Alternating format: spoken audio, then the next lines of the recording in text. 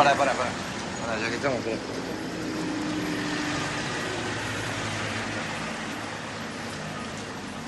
Entra, pedí un café. Paga con esto y salí. No me conoces.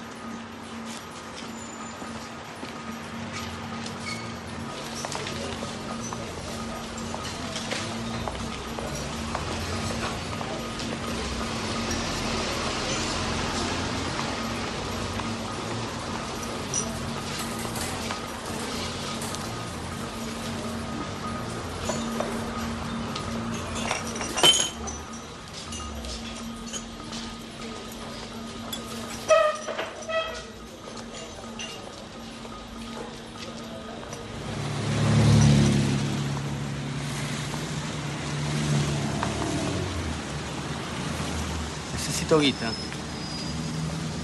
Mira vos, qué original. ¿Qué decías?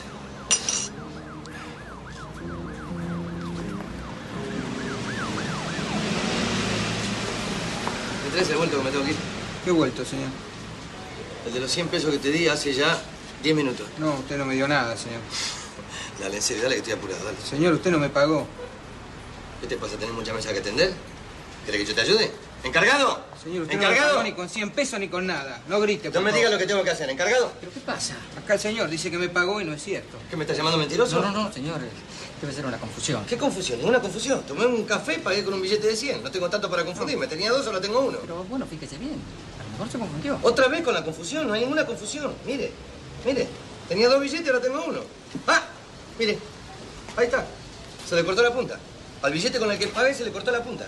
Hágame el favor, fíjese en la caja. Si tiene un billete al que le falta la punta, dejémonos de joder que estoy apuradón. Bueno, acompáñeme, por No, favor. yo no lo acompaño en lado. Usted va a la caja y me trae el vuelto hasta acá. A ver si yo voy a ir hasta la caja ahora. ¿Estamos todos locos?